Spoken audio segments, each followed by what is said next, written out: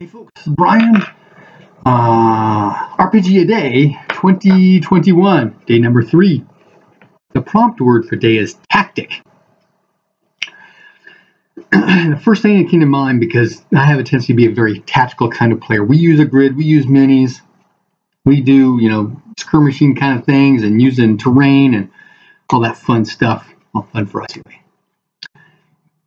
But the first thing I really thought of was a game we were playing. I don't remember the rule set. It was probably Harn, or HarnMaster rather, but I'm not positive. In which case it would have been Lorand. My character was Lorand in our Harn campaign.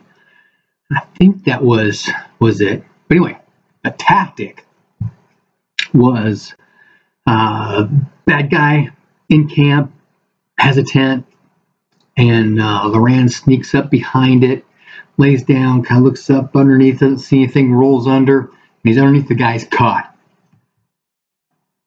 And there are folks in there talking at a table, so he's able to overhear uh, everything going on.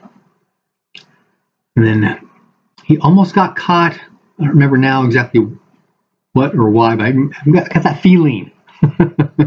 he almost got caught we were able to lift up the back flap and roll back out. So I suppose I could say that, you know, tactics don't have to be all about combat. They can be tactical interactions. How do you want to address the situation? How do you want to deal with people? Just some ideas on tactics. Happy gaming.